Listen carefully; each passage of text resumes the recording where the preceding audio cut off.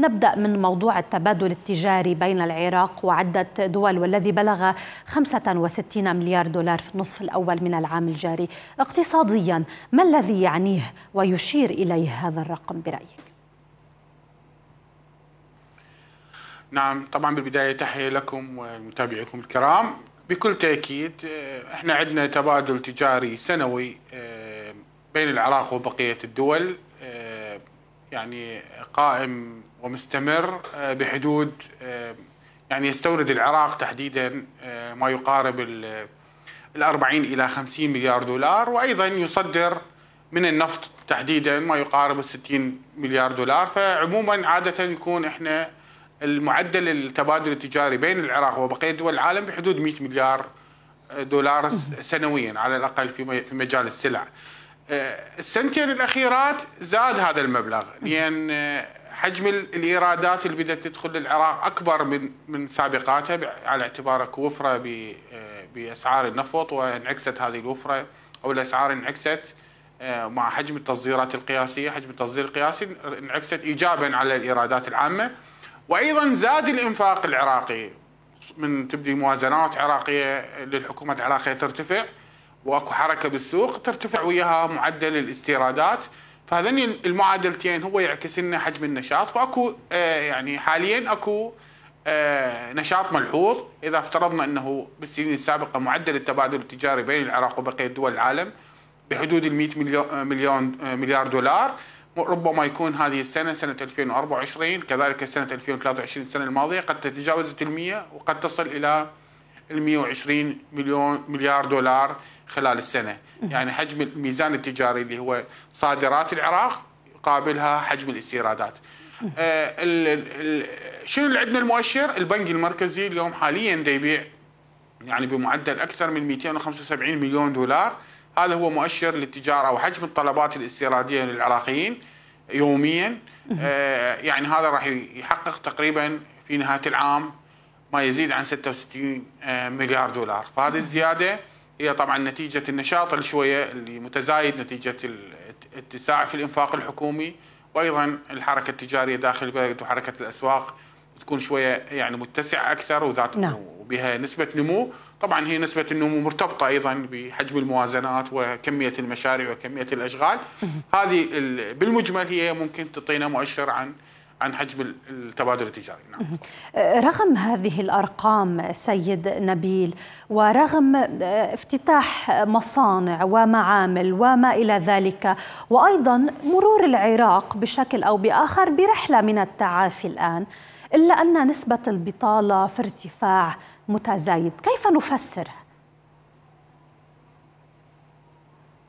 يعني طبعا هو قضية البطالة هو تحدي دائم يعني مو تحدي بسيط. يعني إحنا سنويا ممكن يدخل إلى سوق العمل ما يقارب المليون شخص من الذكور والإناث. هذه يحتاجون وظائف يقابلها. لازم إحنا يعني مشاريع تغطي هذه الزيادة المستدامة والسنوية والدورية بعدد الداخلين لسوق العمل. فقضية البطالة هو تحدي دائم. هذا من جانب جانب آخر إحنا بعدنا حجم المشاريع المفتتحة أو المعامل أو المصانع. يعني هي مو بالدرجة اللي ممكن نوصفها بالثورة. اللي ممكن تمتص بها كل يعني كل الطالبين للعمل أو الباحثين العمل. وقضية أخرى أنه مو كل باحث عن عمل هو ممكن يعني إحنا نقدر نشغله. يعني بالنسبة للعلاقة أكو الوظائف عادة هي مرتبطة أما بمهارات مهنية أو مهارات يعني علمية.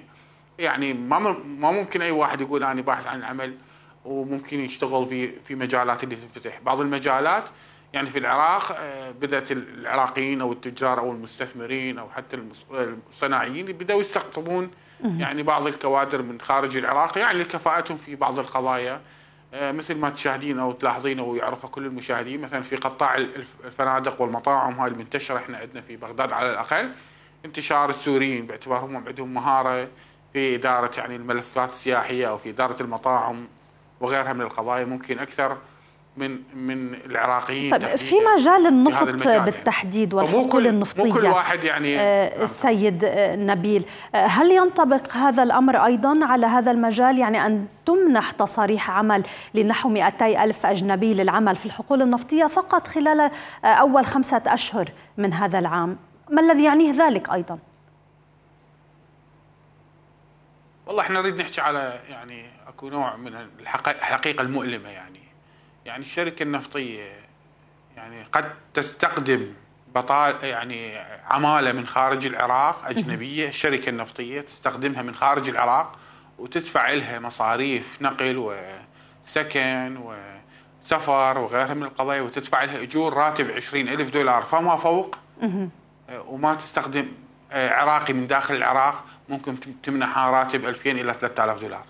يعني ممكن تستخدم الأجنبي بتكاليف أعلى بأكثر من 10 أضعاف أحيانا. وما تستخدم العراقي آه، داخل العراق. طبعا هو لسبب بسيط يعني المهارة اللي يمتلكها الأجنبي المهارة الفنية اللي يمتلكها الاجنبي قد تفوق. يعني ماكو غير تفسير بهذا بهذا المجال. رغم أكو قانون وأكو عقد يفرض يحاول يفرض على هذه الشركات تشغيل العاملين لكن الشركة ترى يعني مصلحتها الخاصة في إدارة عملياتها الإنتاجية. نعم. تريد أشخاص مناسبين في إدارة عمليات الإنتاجية. إحنا حتى لا ندخل في دوامة إنه الكفاءة العراقية وكفاءة الموظف العراقي. نعم. الموظف العراقي يكون كفؤ من يحتك بالشركات الأجنبية. من يدخل يعني السيستم مالته ونظامه وطريقة عمله وطريقة آه، تعليمه مواكبة للعالم. غير نعم. هذا الحديث أنا أعتقد هو يكون حديث يعني مبالغ به عن عن القدرات المحلية وهذا يكون غير واقعي اطلاقا. اذا ما هو السبيل الأمثل سيد نبيل لحل هذه المعضلة والتخفيف من آثار مشكلة البطالة عن كاهل العراقيين؟ يعني هن المؤشرات يعني دول الدول الغربية الخطابات السياسية دائما نسمعهم يحكي عن البطالة عن التضخم عن الفقر. ذن المؤشرات هن اللي هن يحطوها السياسيين قدامهم في أي وقت. آه، باعتبارنا ذن التحديات الدائمة. نعم. فإحنا كعراقيين لهذا بدنا نحكي عن قضية تحدي دائم يعني هذا لازم عمل مستمر ودؤوب وما ينتهي. يعني إحنا ما راح ينتهي في يوم آه، قضية البطالة ما طول أكو ولادات مستمرة وأكو ناس تدخل كليات وأكو ناس تدخل معاهد ناس تكبر بالعمر وعوائل تكبر وزيادة بالنمو السكاني فهذا ما راح ينتهي قضية البطالة. اطلاقا ما راح ينتهي. فإنه لازم يكون شغل شاغل السياسيين. وتوفير المزيد من الوظائف عبر القطاع الحكومي وعبر القطاع الخاص. يعني يعني السماح للقطاع الخاص بإنشاء مشروعات هو راح يمتص جزء من البطالة. توسعة عمل القطاع الحكومي قد يمتص جزء من البطالة. يعني هذا هو الميزان المستمر والدائم في عملية يعني خلق وظائف وخلق إنتاج وخلق مشاريع جديدة هو اللي هذا راح يمتص أكبر عدد وأكبر آه، عدد من العاطلين وبالتالي يخفف نسبة البطالة. ما راح تنتهي نسبة البطالة اطلاقا لا في العراق ولا في أي مكان في العالم، لكن أكو هناك نوع من أنواع البطالة اللي يكون هي قد تكون ضرورية حتى تحفز الناس على العمل باعتبار أكو ناس عاطلين أكو غيرهم ممكن ينتظر فرصة عمل إذا أحد من الناس تحاول التخلي عن العمل.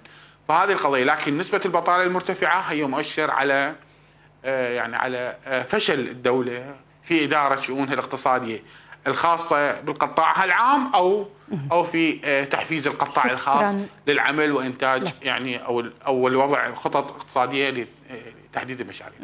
شكرا جزيلا لك الخبير الاقتصادي نبيل جبار التميمي كنت معنا من بغداد.